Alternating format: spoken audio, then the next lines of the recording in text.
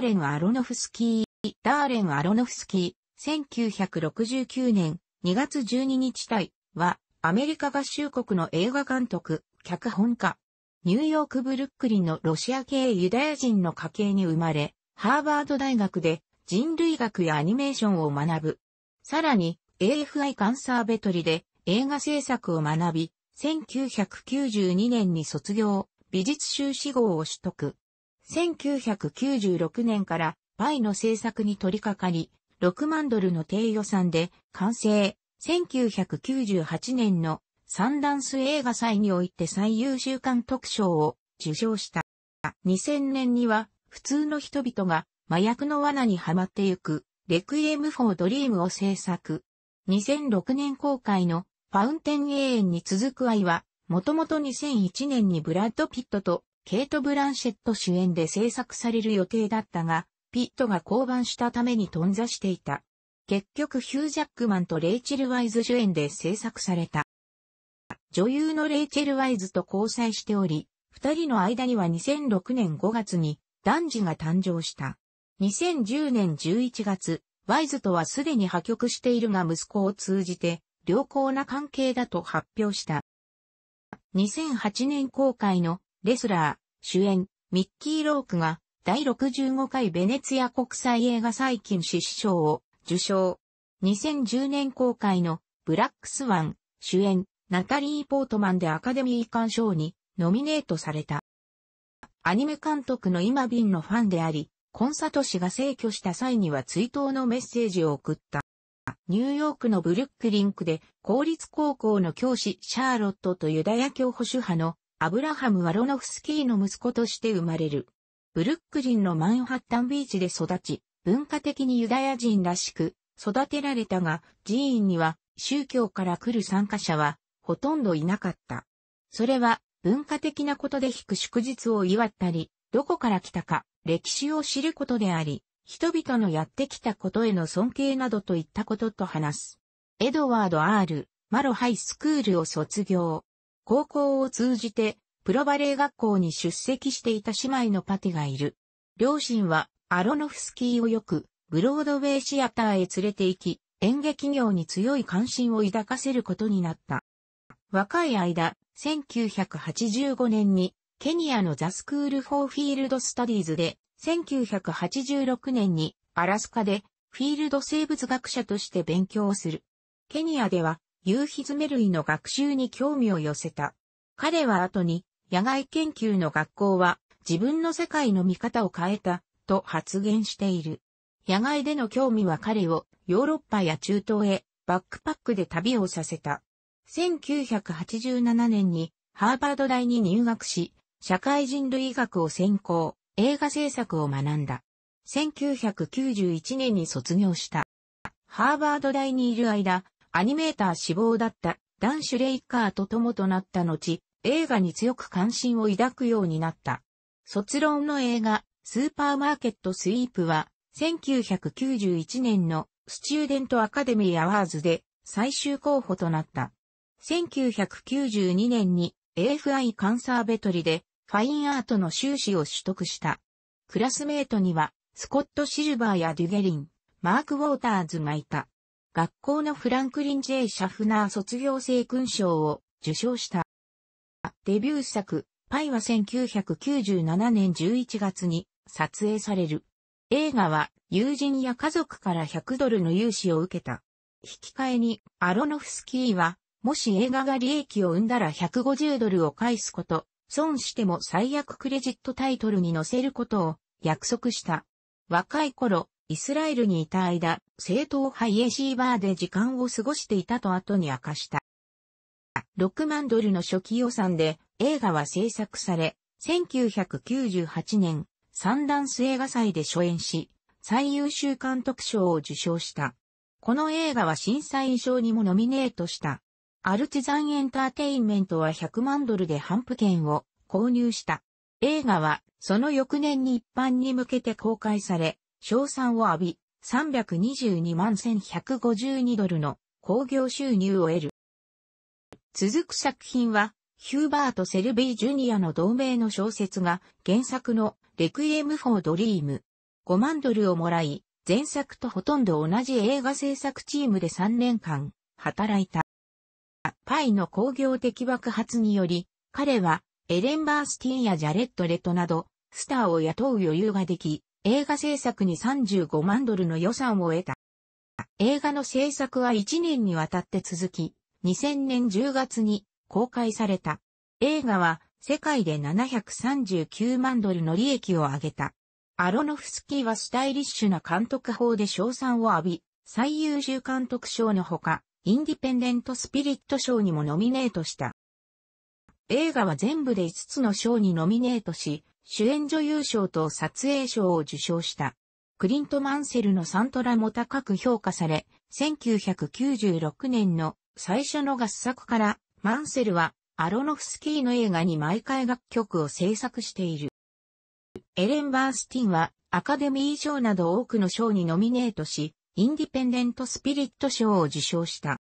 2000年の半ば、ワーナーブラザースはアロノフスキーをバットマンシリーズ5作目となるの監督、脚本のために雇った。浪人の作られることはなかった脚本をフランク・ミラーと合作したことのあるアロノフスキーは、ミラーを、イヤーワンを共同脚本するために連れてきて、リブートする気でいた。やや漫画を元にしている、バットマンからイメージできることはすべて捨てろ。すべてだ。我々は全く新しいものを作ろうと後に、アロノフスキーは語った。例年共に仕事をしてきたマシュー・リバティークを撮影監督とし、クリスチャン・ベールをバットマン役にした。ベールは後のバットマン・ビギンズに出演することとなった。しかしながら、スタジオはバットマン対スーパーマンの方を選び、イヤーワンは却下された。プロジェクトが失敗した後、アロノフスキーはバットマン・ビギンズの監督する機会を辞退した。2001年3月、自身のプロデュースしたホラー映画、ビローの脚本を助けた。2001年4月、アロノフスキーは、ブラッド・ピットを主演に置いたまだタイトルのない、サイエンスフィクション映画を監督するため、ワーナーブラザースとビレッジ・ロデショウと交渉に入った。2001年6月に、女優ケイト・ブランシェットが映画に加わる交渉に入り、アロノフスキーは映画タイトルを秘密のままにし、一時的にザラストマンとタイトルを与えた。2001年12月にブランシェットが妊娠したため制作は遅れた。制作は2002年10月の遅くにオーストラリアのシドニー・クイーンズランド州で開始した。ファウンテンと公式タイトルが決まり、映画は700万ドルの予算を得て、ビレッジ・ロデショウが撤退した穴は、ワーナーブラザースとリージェンシー・エンタープライズが共同出資して埋めてる。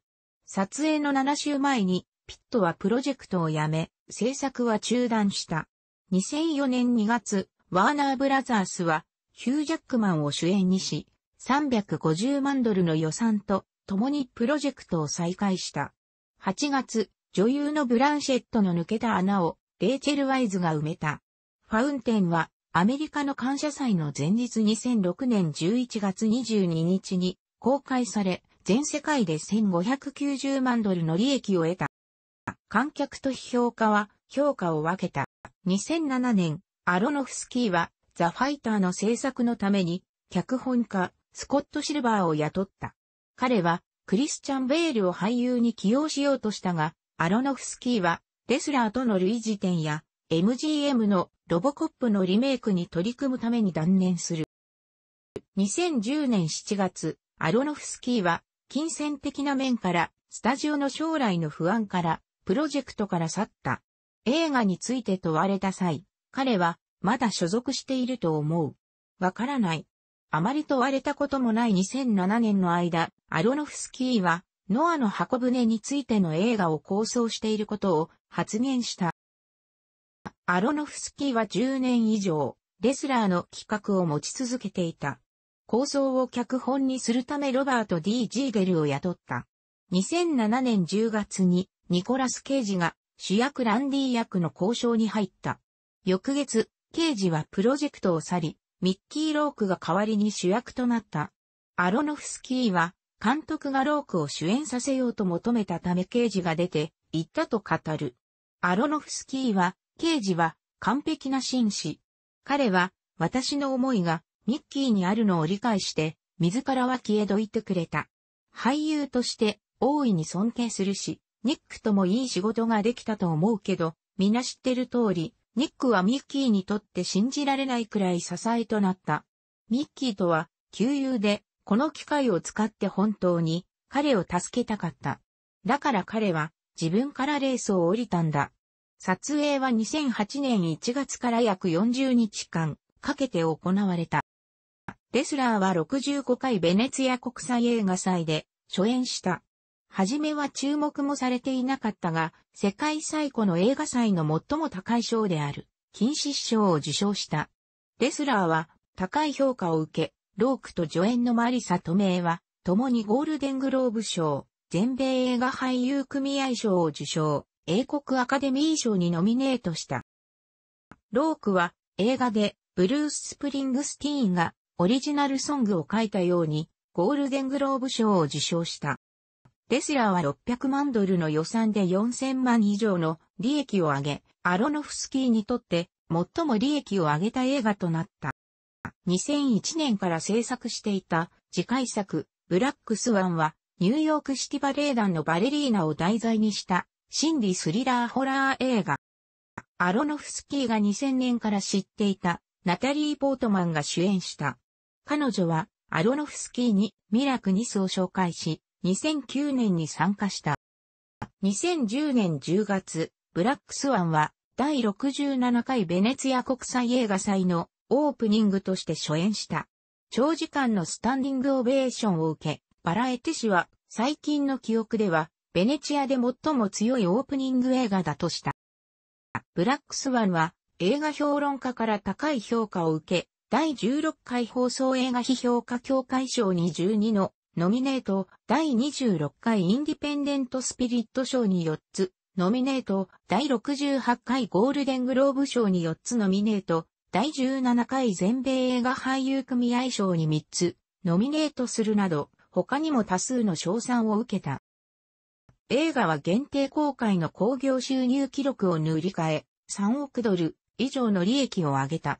2011年1月25日、映画は5つのアカデミー賞、作品賞、監督賞、主演女優賞、撮影賞、編集賞にノミネートした。3月にはポートマンが第83回アカデミー賞女優賞を受賞した。アロノフスキーはオスカーで作品賞にノミネートされていたザ・ファイターのエグゼクティブプロデューサーとして仕事をした。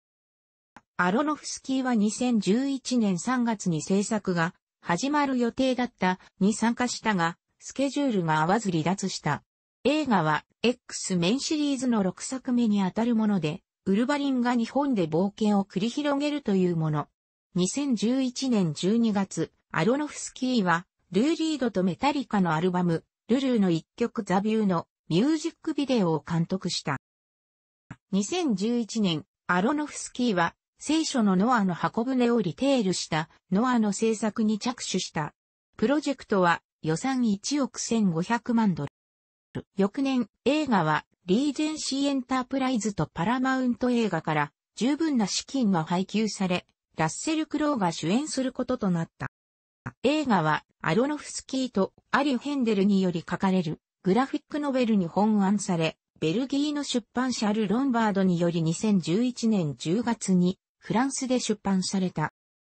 2012年6月、アロノフスキー一行は、ニューヨーク州ロングアイランドのオイスターベイに、箱舟のセットを作った。アロノフスキーは、映画制作の開始を、ツイッターで告知し、同月アイスランドで撮影も開始したことをツイートした。映画は、エマ・ワトソンや、アンソニー・ホプキンス、レクイエム・フォー・ドリームに出演したジェニファー・コネリーらが出演する。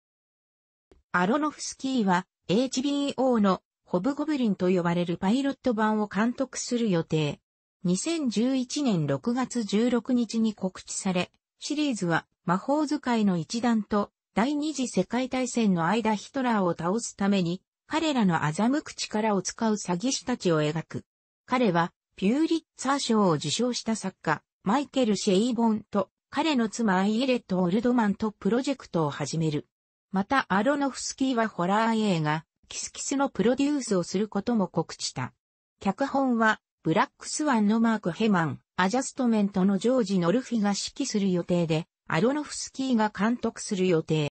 アロノフスキーの最初の2作品、パイ、レクイエム・フォー・ドリームは低予算で、極端に短いショットのモンタージュが使われており、時々ヒップホップモンタージュと呼ばれている。平均100分の映画が600から700のカットが使われており、レクイエムは2000以上である。分割スクリーンも極端に窮屈なクローズアップと共によく使われている。スノリカムと呼ばれるような俳優にカメラを吊るす器具を使ったショットを含む長いトラッキングショットや低速度撮影の写真術もまた有名なスタイリッシュな工夫である。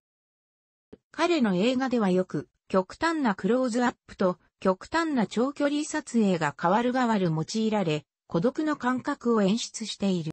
ファウンテンでは、アロノフスキーは、 computer-generated imagery の使用を制限した。ルック・エフェクツのビジュアルエフェクト監督ヘンリク・フェットは、ダレンは彼が求めるもの、コンピュータグラフィックスの使用を最小限にする意図についてとてもはっきりしていた。その結果は実に優れていると私は思う彼は、レスラーやブラックスワンでは、より曖昧な指示を出し、これが演技や脚本に直感的な指示を少なくした。アロノフスキーは抑えたパレットとザラザラなスタイルで映画を撮った撮影監督のマシュー・リバティークはアロノフスキーと3つの映画で仕事しており、作曲家クリント・マンセルとは5つの映画で仕事している。マンセルの音楽はしばしば映画の大事な要素となる。パイは数学と数学的な理論を題材にしている。評論家の多くは、レクイエム・フォー・ドリームをバスケットボール・ダイアリーズやトレインスポッティング、スパン、ラスベガスをやっつけろなどと同じようにドラッグ映画のジャンルとみなしている。しかしアロノフスキーは彼の映画をより幅広い文脈で述べている。レクイエム・フォー・ドリームはヘロインやドラッグについてのものではない。ハリー、タイロン、マリオンの話はとても伝統的なヘロインの話である。だが、それは、皿の話の脇に置いた。我々は、突然、なんてことだ、ドラッグとは何だ？という。これと同じモノローグが、薬、タバコでもやめようとするとき、または20ポンド痩せられるから食べないようにしようとする、時に頭をよぎるという、このアイデアは私を本当に魅惑した。このアイデアは映画で見たことがなかったし、私が劇場に持ち込みたかった。友人のアリ・ヘンデルと共にファウンテンの脚本を書いた。1999年、アロノフスキーはマトリックスが映画の SF ジャンルを再定義したと思った。彼は SF 映画を作るためにマトリックスやスター・ウォーズ、2001年宇宙の旅がやったように、新たな領域を探した。彼は技術や科学を駆使したプロットで SF 映画を超えたかった。トロント国際映画祭でジェームズ・ロッチにインタビューを受けた際、アロノフスキーは1957年のチャールズ・ミンガスの曲ザ・クラウンがレスラーの強い影響元となったことを明かしている。民衆に流血への欲求があることを発見し、ついに上演中に自殺したクラウンについての音楽の詩が映画を手助けするピースとなった。アロノフスキーはブラックスワンをレスラーの姉妹編と呼んだ。レスラーとバレリーナの間の恋愛に関する初期のプロジェクトの一つが元となったため、結局一つの映画には収まらないとレスラーとバレエの世界に分けた。